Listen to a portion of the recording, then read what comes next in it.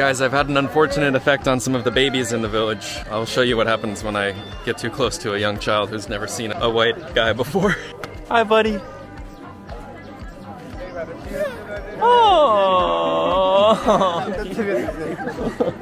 He's afraid of me. It's okay. Okay, I'm sorry. Bye bye, buddy.